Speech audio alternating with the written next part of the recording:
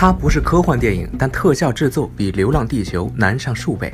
它不是流量明星，却是国内片酬最贵的演员，一分钟就要花掉两百万。特效指导徐健接到任务的第一感觉就是导演是不是疯了？是的，筹备五年，头发都白了。陆阳导演确实不疯魔不成活。绣春刀后，他消失了近四年，一年筹备，一年拍摄，剩余的时间全用来做后期。而主角赤发鬼就是一个吞金兽，四十万根头发，九十万个毛孔，单单面部毛孔就多达四点八万个。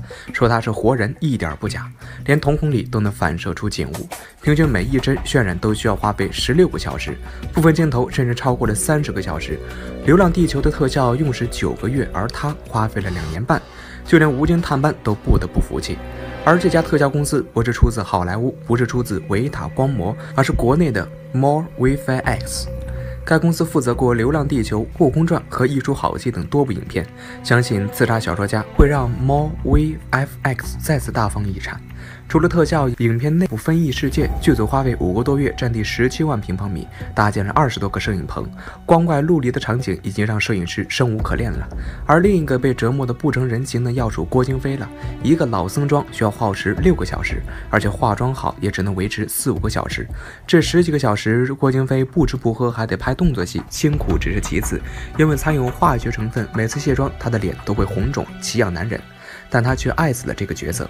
炫酷的造型、沙哑的嗓音以及势如破竹的招式，让他沉浸在角色中，已经无法自拔。另一个身轻如燕的女杀手就是杨幂，为了达到飞花摘叶可伤人的身手，她提前进组接受了魔鬼般的训练，即便赶上生理期，被摔、被踢、被打，她从没说一个不字。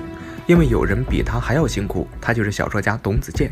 一人分饰两角，既要减肥满足小说家的形象，又要健身达到陆空文的彪悍。从早六点练到晚六点，攀岩、游泳、吊威亚各种招式让他应接不暇。常常一个高难度特技动作都要重复 n 遍。拍水里的戏份时，零下三度泡在水池里八个小时，第二天依旧精神饱满。作为男主角，雷佳音自然是受虐千百遍，一副盔甲重六十斤，穿上还得有行云流水的气质和虎步生风的架势。即便是经过处理过的道具，一遍遍砸在身上，也会弄得浑身淤青。更何况一不小心砸得头破血流。动作戏对于演员或许来说只是体能的考验，但感情戏绝对是影片升华的点睛之笔。雷佳音饰演了一个丢失孩子的父亲，为了找回孩子，他接受任务刺杀一位无辜的小说家。手起刀落时那份踌躇不忍与杀伐果决的碰撞，绝对让观众有很强的代入感。看似是一场天马行空的冒险，实则是虚实结构的特殊存在。小说真的能影响现实生活吗？一介凡人真的能是神吗？大年初一，刺杀小说家为您揭晓谜题。